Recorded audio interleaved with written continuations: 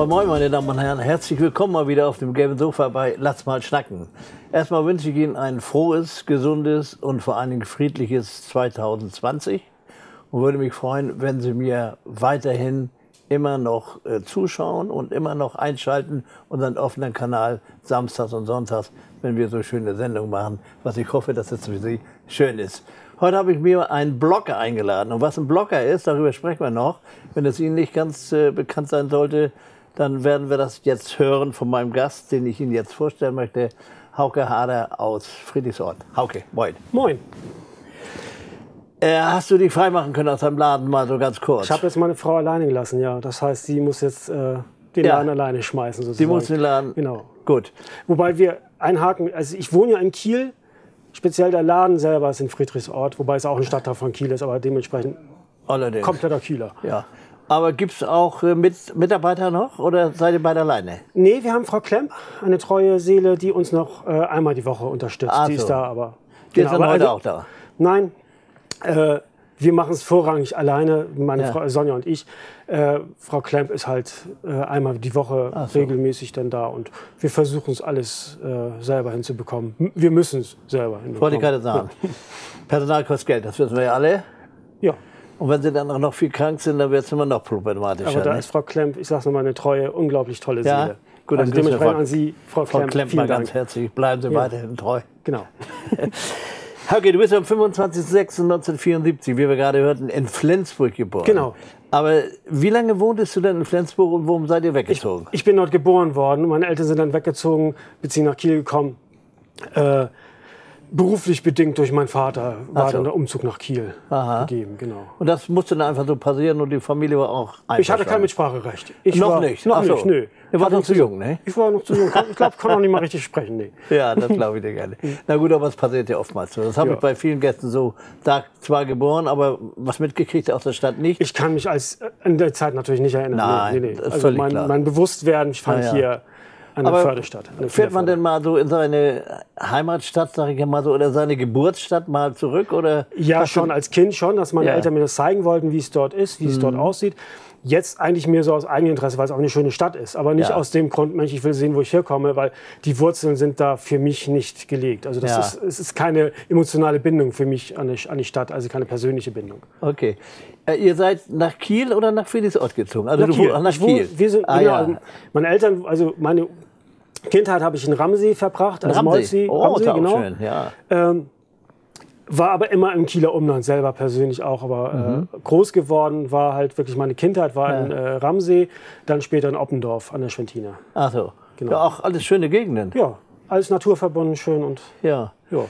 Okay, äh, gibt's oder gab es besondere Leidenschaften in deiner Jugend? Sport oder, oder hattest du da schon, Nee, Sport, gab's da schon irgendwas, wo man sagen könnte, da geht irgendwo mal der Weg hin? Ja, wahrscheinlich die Tendenz, die du jetzt ansprechen willst, ist das, dass mich Bücher plötzlich gepackt haben. Ja.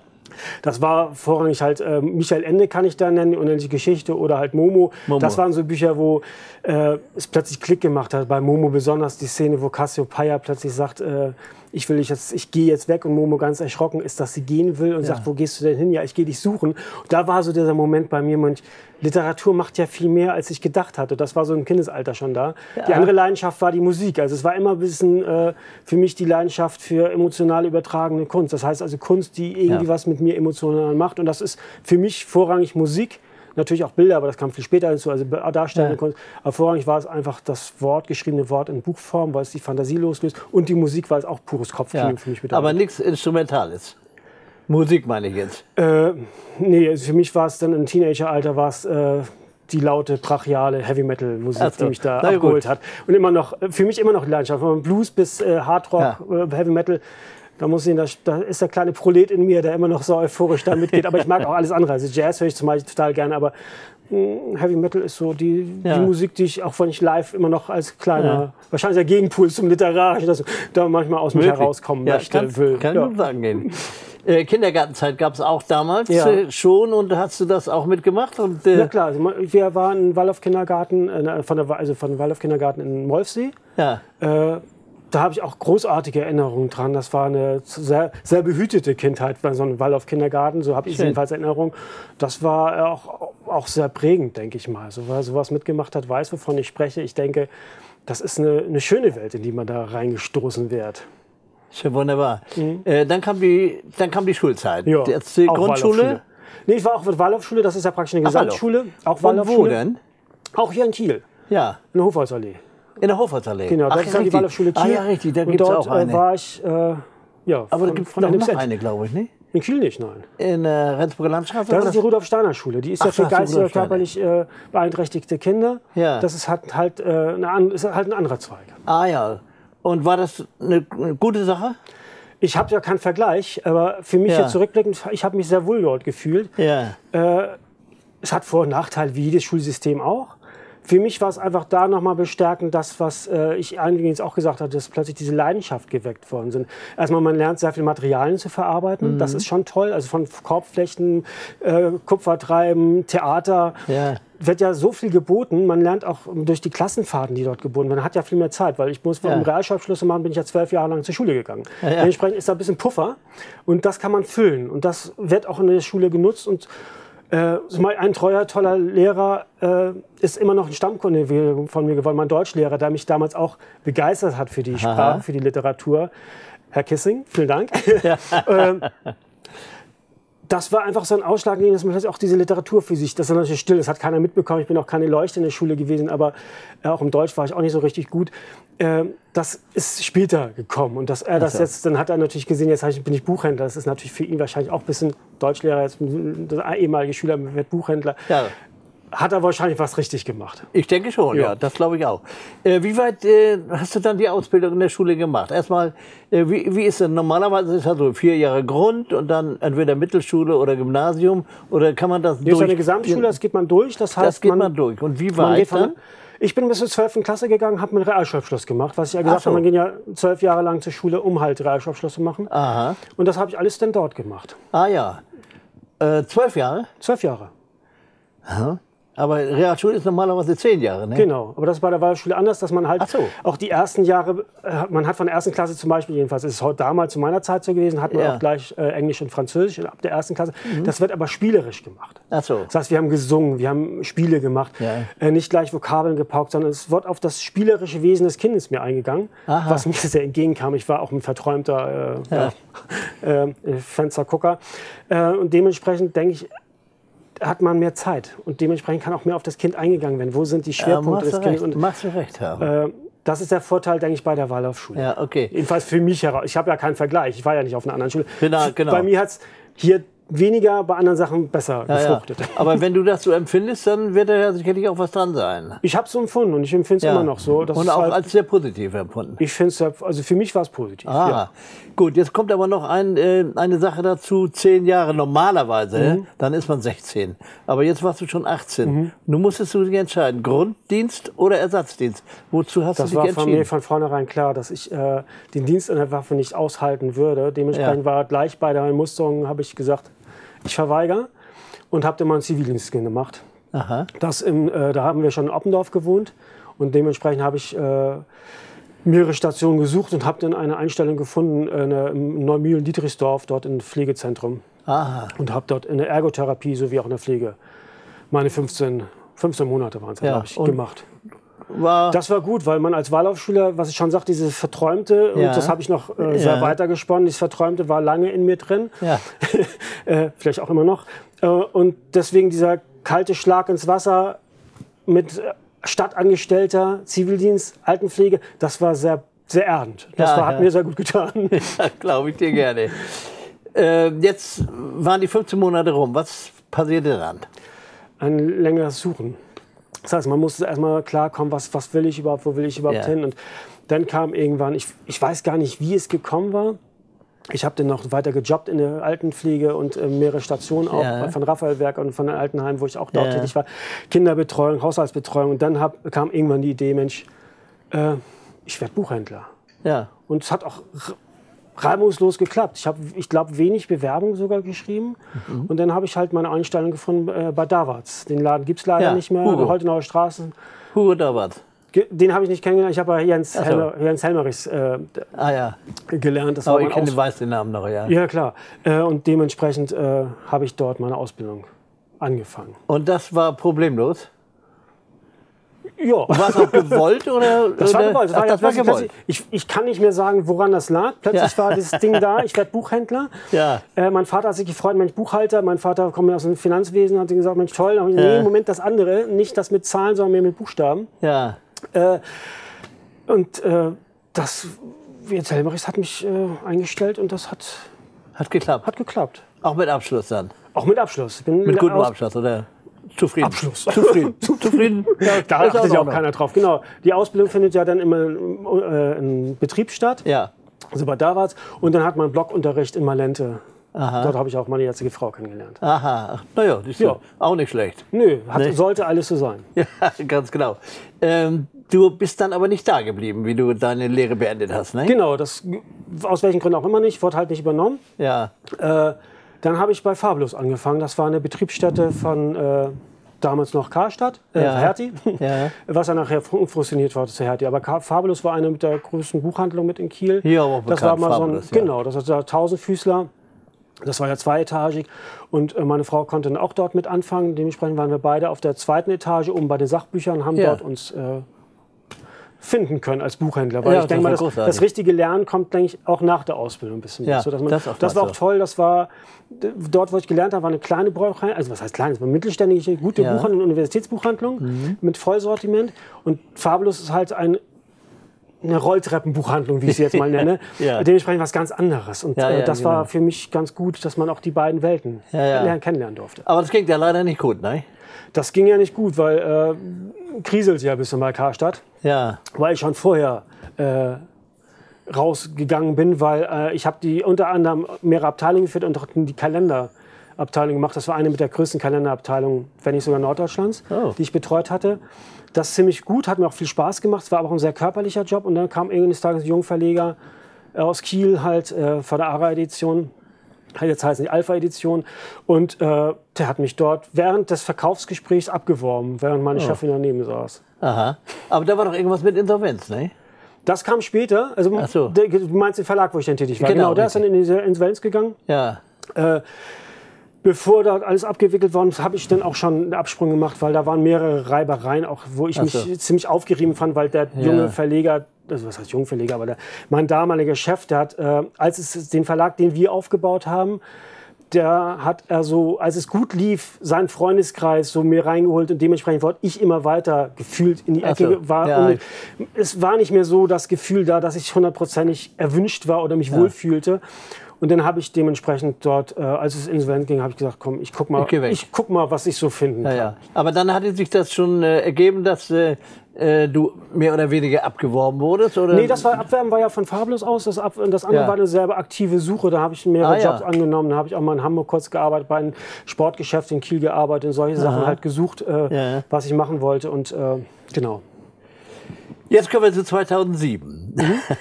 Da, bin, Da war ein Wechsel oder was, ne? da war wieder, das heißt, ich bin wieder in den Verlag zurückgegangen nach diesem Suchen. Ach so. Äh, das war ein äh, Verlagswesen, der auch wieder im Wachstum begriffen war, mit ähnlichen Leuten, wo ich damals schon tätig war. Und da haben wir einen Verlag gegründet, beziehungsweise äh, mein, Chef hat einen Verlag gegründet, mit Gutscheinbüchern, auch wieder mit Kalendern und solche Sachen. Da habe ich wieder praktisch den, äh, den Weg dorthin. Ging ja auch nicht gut, dementsprechend bin ich auch wieder letztendlich im Buchhandel gelandet. So, gut, okay. Ähm, gut, du warst noch jung und hast da schon äh, eine ganze Menge erlebt oder, oder durchlebt, ja auch mit Insolvenzen und Ja. wie auch immer. Ähm, kommt dann so eine Idee der Selbstständigkeit von alleine oder wird man da irgendwie drauf gebracht oder ist es, äh, ist es auch eine, eine Sache der Unterhaltung zwischen glaub, zwei diese- Ehepartnern?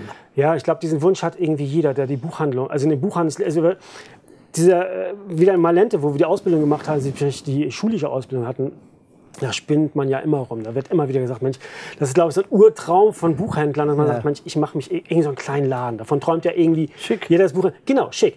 Ähm, natürlich ist da viel, auch mehr viel Traum drin, als in der Realität ist, aber das merkt man dann ja auch später. Ja. Ähm, aber dieser Wunsch war jetzt relativ äh, zügig da. Das heißt, als ich meine Frau kennengelernt haben wir immer rumgesponnen. Mensch, wir, ein eigener Laden wäre schon schick. Und davon, dass wir so unsere Leidenschaft dort ausleben können und das so machen, Ja. wie wir es wollen.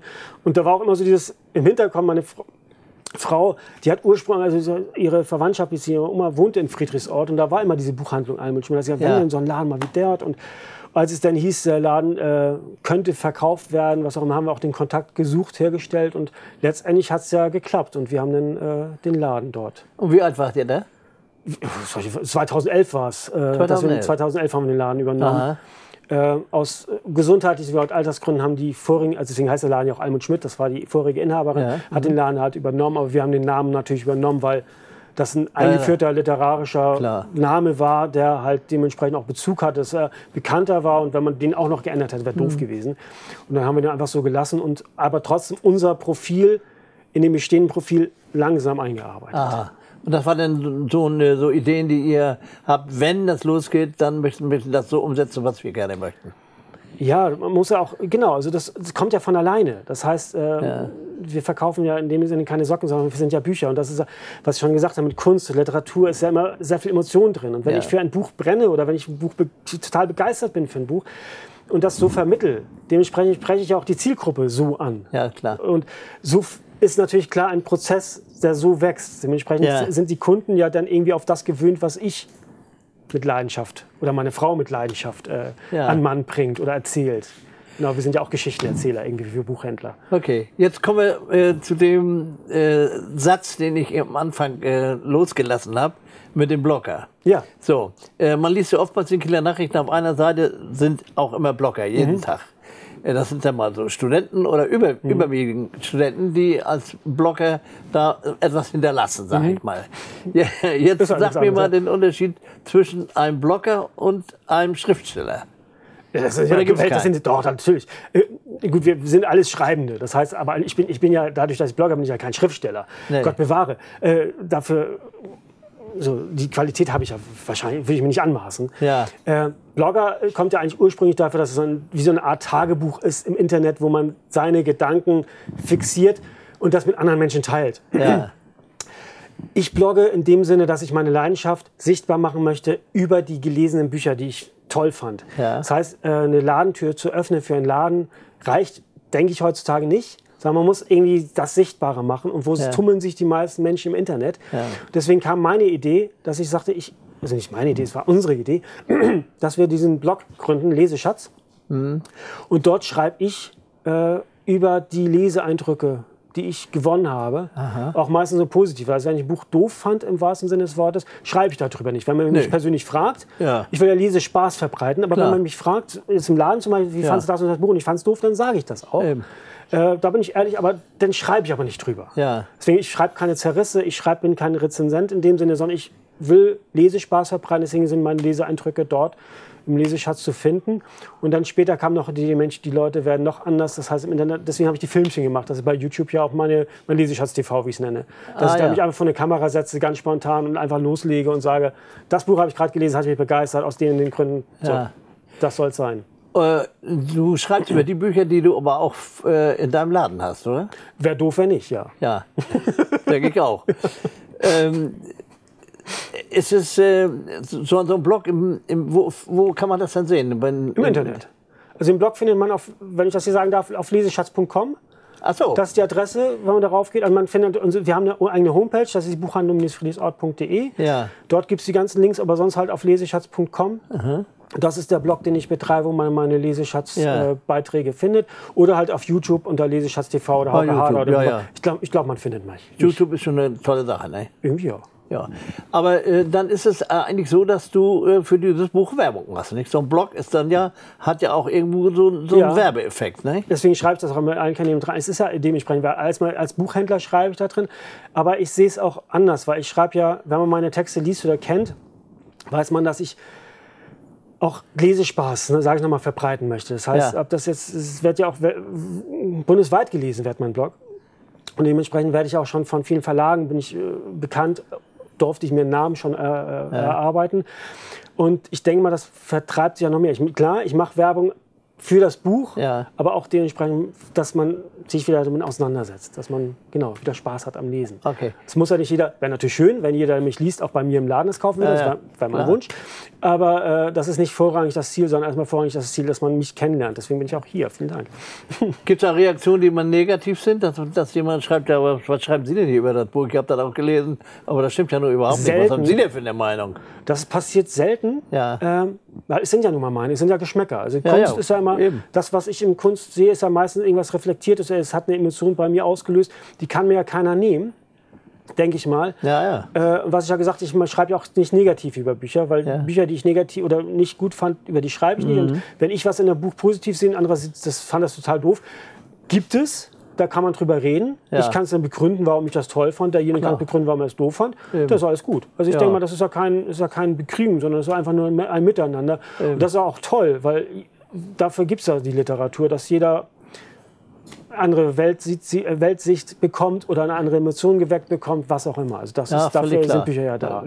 Äh, Gibt es auch mal eine positive Reaktion, dass man äh, sagt, ja, ich habe da gelesen in Ihrem Blog jetzt über das eine oder andere Buch und jetzt, äh, das hat mich jetzt aber jetzt äh, interessiert.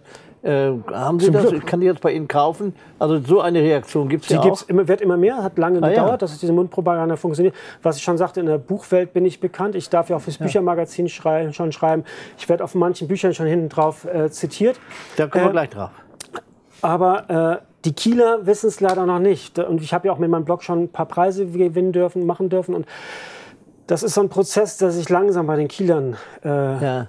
Etablieren sollte, dürfte. Äh, Aber es wird immer mehr, dass Leute kommen, nämlich, Hauke, du hast hier äh, neulich was besprochen, äh, das hätte ich jetzt gerne, zeig mir mal das. Ach so. Das passiert. Okay. Du hast jetzt so einen Ausdruck mitgebracht, das ist praktisch Ja, also mich drum gebeten, genau, das sind einfach die letzten Rez- vom Blog, Rez- oder wie? Genau, das sind einfach die letzten beiden Rezensionen, Ja. die ich geschrieben habe, jetzt äh, diese Woche, glaube ich. Letzte Woche und diese Woche. Ich lese ja in der Regel so ein bis zwei Bücher die Woche. Ja. Abends oder wie auch immer. Das Einzige, was ich kann, ist halt schnell lesen.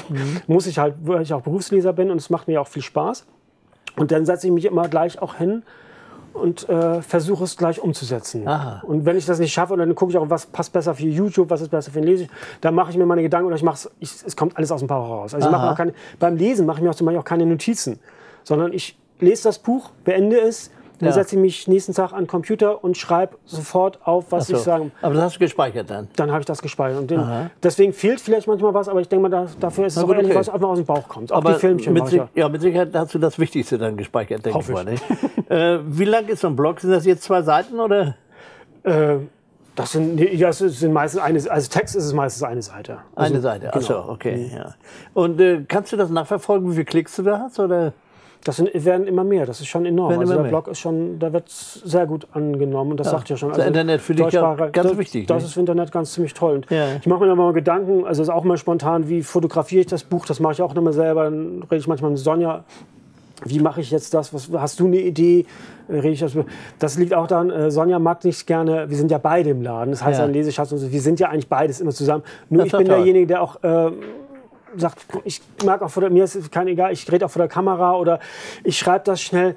Äh, das mag Sonja halt nicht so gerne. Ach Und deswegen bin ich immer der, der im Vordergrund steht, aber es sind immer wir. Das ist in so einer Ehe. Ja. Klar. Wir kommen jetzt aber noch mal zu den Büchern jetzt. Ja. Also ich habe das jetzt sicher nicht verstanden.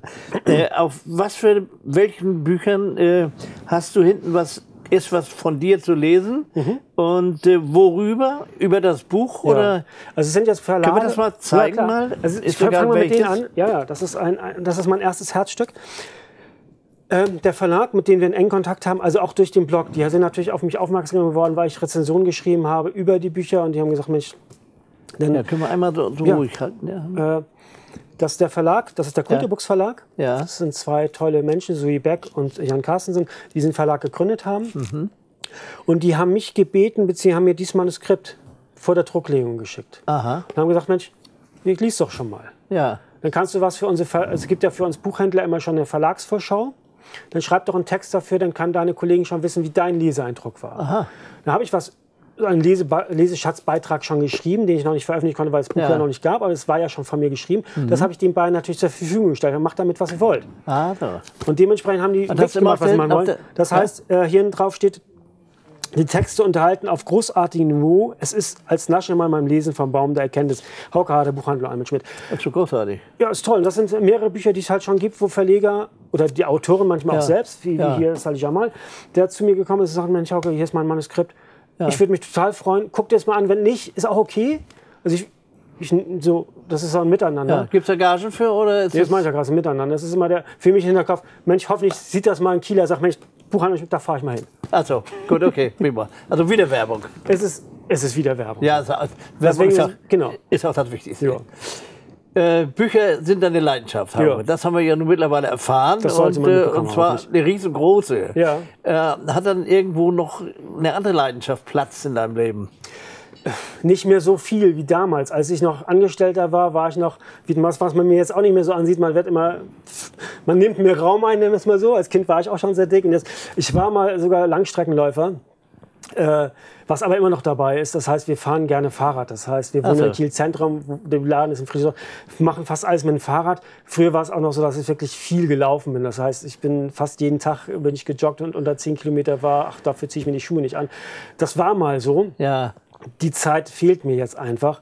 Dementsprechend bleibt eigentlich noch Lesen. Und äh, ich bin so ein sagen Medienjunkie. Das heißt, ich liebe gute Hörspiele, ich liebe gute Filme, Serien. Äh, hat ja aber auch alles mit Geschichten zu tun. Also bin ich Genau. wahrscheinlich ein Geschichtensammler. Auch für mich Musik, was ich immer sagte, sind ja auch eigentlich nur Kopfkino, was da entstehen kann. Die Leidenschaft bleibt. Ja, gut, okay, die bleibt, ja. Mhm. Aber so ein bisschen Sport muss in deinem Alter her, muss, muss das, müsste ja eigentlich sein. Ja, deswegen Und es nur spazieren Fahrrad. gehen ist. Ja, ne? aber wir fahren ja Fahrrad. Also wir Ach, fahren Fahrrad, ja. Das sind ja so bummelig mindestens 14 Kilometer, glaube ich, von uns Ach zu so. Hause zum Laden Ja. pro Strecke und das fahren wir jeden Tag. Also fahren wir jeden Tag so mindestens 25 Kilometer. Oh, dann das noch ist. Das ist, ich mal, unser Sport und das Ja. machen wir fast bei fast jedem Wetter. Also das ist auch, auch wieder tolle Werbung, weil die Kunden sind, wir haben sie auch neulich mit dem Fahrrad gesehen, Hochbrücke, äh, machen sie es jeden, also es sind viele Gespräche, die es dadurch gibt Ja, und genau. dadurch gibt es auch diese Möglichkeit, ist ja auch gemacht, Hallo Leseschatzaktion, solche Sachen, Ja, gibt's ja. wer mich anspricht unterwegs, kann, äh, genau, also Alles das findet man bei mir. Gut, okay. Dann müsstest du eigentlich so T-Shirts haben mit Leseschatz drauf, Hab ne? ich. Mhm. Hast du. Und da hast du dann, wenn du auf dem Fahrrad sitzt. Ja, wenn das Wetter mitspielt, genau. Dann ja, genau. Ja, ja, gut, okay. Ähm, du hast aber auch irgendwelche Auszeichnungen auch mal bekommen. Wofür und äh, wann war das? Oder was waren das für welche? Das war Sagen wir mal so. 2018. Also es heißt, man kann als Blog nominiert werden äh, für den Buchblog Award. Und 2018 habe ich diesen gewonnen. Das heißt, ich habe äh, viele Stimmen bekommen von denen, die mich lesen. Die haben mich nominiert. Ja. Und dann gab es eine Jury, die rübergeschaut hat. Das waren tolle Leute, Verleger, äh, Journalisten, die sich das genau angeschaut haben. Was sind das für Blogs? Haben die die Qualität? Was Mhm. machen die? Schreiben die nicht nur hier, das sind die Bücher, die habe ich gelesen, die sind toll, schicki, schicki, sondern ist auch was mit Hand und Fuß. Ja. Also ich will mich jetzt sagen, dass meine gut.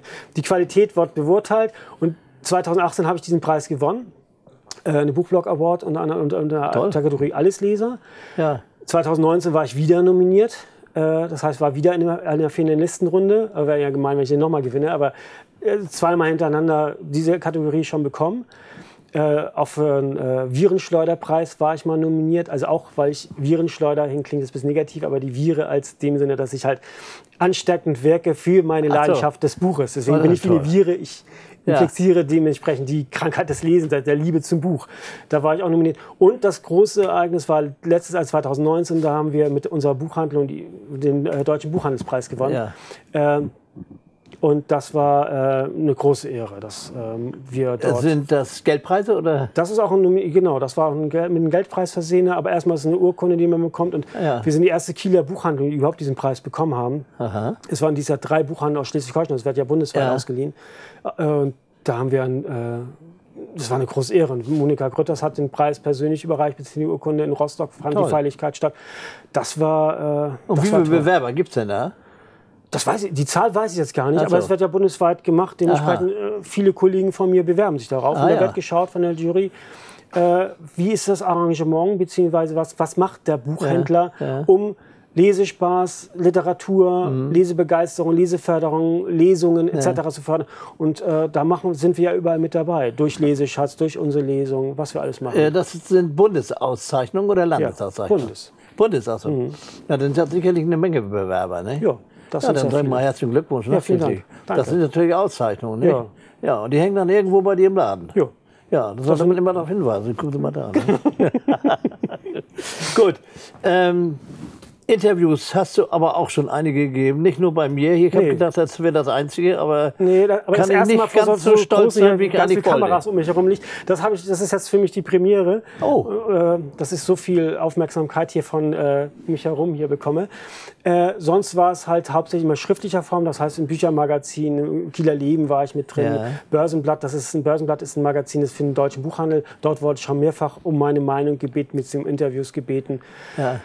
Äh, ja, KN wurde ich auch schon mal durch die Preise natürlich auch schon mal Ja, ja, hier klar. und dort äh, erwähnt. Und, ja, Aufmerksamkeit. Genau, Ne? das ist halt das, was ich will, dass man sieht, dass ich Ja. und meine Frau für die Bücher halt leben dass wir unseren Lesespaß haben, dass wir auch, auch in allen Genres uns zu Hause fühlen. Das man kann ich über Stephen King genauso leidenschaftlich erwecken wie auch über Hochtramenliteratur. Also ich kann, ich habe ein, ich habe kein Genre, wo ich sage, da bin ich zu Hause und ich lese alles sehr gerne. ja. Und das sollen die Leute mitbekommen und deswegen sind wir ja so bemüht, das zu zeigen. Ja, ja, gut. Ja, mit Herz und Seele dabei, ihr beiden. Ne? Ja. Das ist ja unglaublich. Toll. Danke. ähm, es finden auch Lesungen statt bei dir, Ja. ne? Ja, Hast du denn auch ausreichend Platz bei dir im Laden? Ja. Oder? Ja, Ja. tatsächlich. Äh, am Anfang haben wir den ganzen Laden auch noch entkernt. Das heißt, wir haben die Regale die, und die Tische, die mittig im Raum waren, entkernt. Da hatten wir natürlich noch mehr Platz. Aber du hast eben das Alter Wort gesagt, man will älter nennen. Das liegt nicht am Alter, sondern einfach auch den Zeitfaktor. Und wir sind halt nur zu zweit. Frau Klemmt natürlich mit eingerechnet. Ja, aber ja, wir uns nicht zumuten, abends noch mit. Also, das ist einfach, das, das machen wir nicht mehr. Das heißt, wir machen noch Lesungen, Mhm. aber wir entkernen nicht mehr den Laden, um Stühle so zu stellen. Aber wir haben immer Ja. noch geräumig Platz, dass wir tolle Lesungen machen können und tolle Gäste empfangen dürfen. Gut. Und Ja. wird auch angenommen. Mal mehr, mal weniger. Mal das liegt weniger, immer Zeit, man weiß nicht, woran es liegt. Es gibt Lesungen, wo wir im kleinen Rahmen familiär sitzen. Es gibt Lesungen, wo wir sagen, Leute, wir sind ausverkauft, wir haben keinen Platz mehr. Das gibt's auch. Ja, kommt ja auf den, auf den Autor drauf an. Aber ist er bekannt oder nicht bekannt? Ne? Auch das, man, ich kann es nicht sagen, woran es liegt. Es, so. wir haben auch Top-Autoren gehabt, die sehr bekannt waren und Ja. wo wir dann auch im Familienkreis saßen. Tatsächlich. Ja, das ist, gut. ist, vielleicht gab es dann Fußballspiel, was weiß ich. Also, Ja, ja. Äh, genau, war das, da sind wir halt ein bisschen, genau, da gucken wir nicht so drauf, weil wir nicht so die Ja. Fußballfans sind. Da kommt manchmal sowas uns in die Quere, dass Genau. wir das nicht mitbekommen haben. Gut. Hauke, ähm, zusätzlich zu, zu deinen Blog, Blogs, Blogs, ne? Blog, also wie auch immer. Ja, Ja gut, ist egal. Genau, ja. Äh, schreibst du auch noch äh, andere Berichte für, für Zeitungen oder, oder bleibt das eigentlich bei diesen Blogs Das jetzt? bleibt eigentlich bei dem. Ich habe anfänglich mal, als ich den Laden übernommen habe, habe ich noch für andere geschrieben. Das war so eine Kiel-Seite, wo ich äh, über meine Laufleidenschaft, über bestimmte Fahrradrouten, solche Sachen habe ich auch schon mal geschrieben. Aha. Das ist aber jetzt mir alles äh, ad acta gelegt. Das heißt, ich schreibe eigentlich vorrangig jetzt äh, über das Lesen, auch äh, auf meinen äh, sozialen Profilen, Facebook, Twitter etc. Mhm. ist immer vordergründig, dass äh, natürlich auch manchmal die Leidenschaft Musik, wenn ich Ja. sage, hier die, die neue CD von Deep Purple, äh, Ja. da, da funkt immer bei mir, da ich funke rüber. Ja, wunderbar. Äh, da muss ich natürlich darüber auch meine, mein Herzblut loswerden. Ja. Aber vorrangig geht es eigentlich immer um das geschriebene Wort, um die Kunst der Literatur oder halt äh, tolle darstellende Kunst, Ja. wie jetzt in der Kunsthalle zu Kiel. Das findet man bei mir in meinem Profil bei Facebook zum Beispiel auch, dass ich da sage, Mensch, wir waren neulich, oder dem, den Kinofilm, den, den muss man sehen, der ist großartig. Ja. Das über, also alles, das, was Sehr mich schön. berührt. Wunderbar. So, jetzt kommen wir zu einem anderen, völlig anderen Thema. Oha. Urlaub. Jetzt habt ihr Was eine? Mitarbeiterin. Könnt ihr die auch mal alleine lassen? Könnten wir, wollen wir aber nicht. Das wäre zu viel. nicht? Nein, machen wir nicht. Wir, sind, Also ihr macht keinen Urlaub. wir machen keinen Urlaub. Das seit Jahren nicht. Das seit 2011 nicht. Ausnahme, wir hängen jetzt manchmal Brückentage an. Das heißt, wenn Ah ein ja. Feiertag da Ja, mal ist, okay. das ergibt sich so, dass wir den Kunden dann zumuten, wir haben heute mal geschlossen, weil wir mal... Der letzte Urlaub war äh, tatsächlich 2010. Ja, Erinnern wir uns gerne dran. und, äh, zehn Jahre her.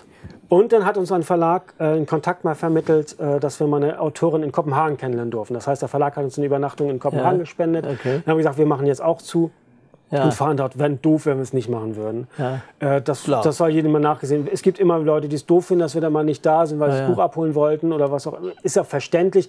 Aber andererseits soll es dann auch verständlich sein aus dem Grund, wir haben keinen Urlaub, dass wir uns die Freiheit mal nehmen, da rausnehmen oder halt, äh, dass wir diese Brückentage nutzen, um auch wirklich mal Gut, okay, aber es gibt ja in diesem oder im vergangenen Jahr gab es eine ganze Menge Brückentage, wo sich das auch gelohnt hat. Ne?